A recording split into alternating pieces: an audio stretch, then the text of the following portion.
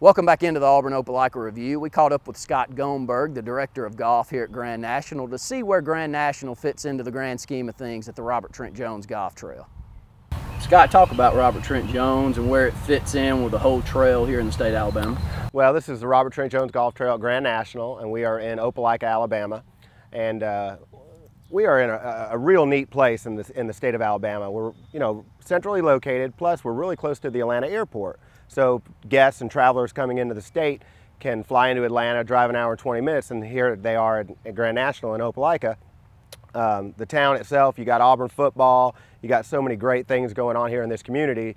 Uh, you got the new National Village homes being built here, and, and you got retirees moving in there, empty nesters moving in there, young people moving in there, and uh, you just got a bunch of people all over the area that can, can live here in this area and have just an unbelievable 54-hole facility to come play, practice, and just engage in on a daily basis. And I tell you, we met with Auburn Opelika Tourism Bureau, and the very first place that they spoke about whenever they were talking about bringing tourists in is this golf trail, and I don't think people throughout the state, as we are on ACN throughout the state of Alabama, understand how much of a tourist attraction that all of this golf trail is, especially here at Grand National. Well, it's, it's unbelievable what tourism and, and uh, just tourism in the state is at, the, at this point and what the trail has done for that tourism. Uh, we play about 67,000 rounds here at this facility.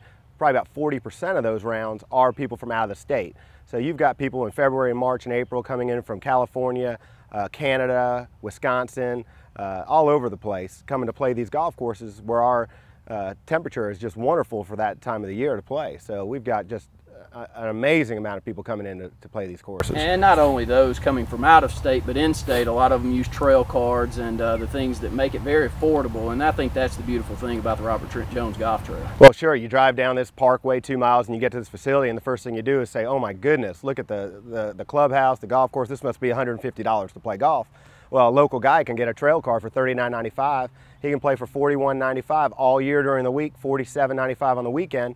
And uh, this, I mean, he doesn't have to join a private club. He's got three golf courses to choose from, so there's always availability. And he's playing, uh, you know, paying close to nothing to just enjoy the most amazing golf in the, in the world.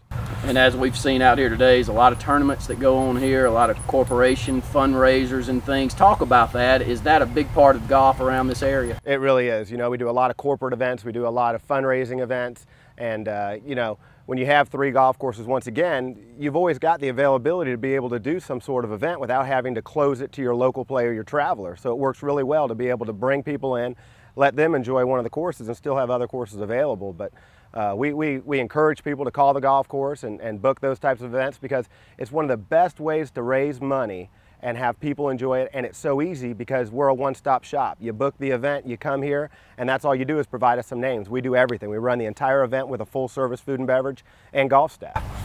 And for people locally in the Auburn Opelika area, as well as students that may be coming here next year, unlimited golf is something that you that you offer, as well as twilight promotions that you have throughout the summer. I think that's important to people locally, and we've got a, a large contingency of who watches this show as local people. So talk about that. Well, sure. I mean, starting in the summer months, you, you got your daylight until almost nine o'clock. So at three o'clock, we start a twilight, thirty-six dollars. You don't have to have a trail card or any other uh, membership type. You just show up, 36 bucks. You can play a green fee and cart fee.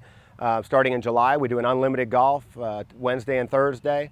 Uh, actually, Tuesday and Wednesdays we do it. Uh, you can come out here and uh, play all day, you know, and for just an amazing price. So, you know, we encourage you to come out and play all day and, and enjoy, you know, it's almost like being on vacation in your own town. It is, and we've talked a lot about the golf here, but the amenities around this area as, as well. We've got the hotel and conference center that you can bring in corporate uh, fundraising type events and things like that that go on, as well as new home development around this area. Talk about that. Just so much more than golf going on in this area. It really is. You got a full service Marriott hotel right here on property. I mean, weddings, rehearsal dinners, all those types of events are there.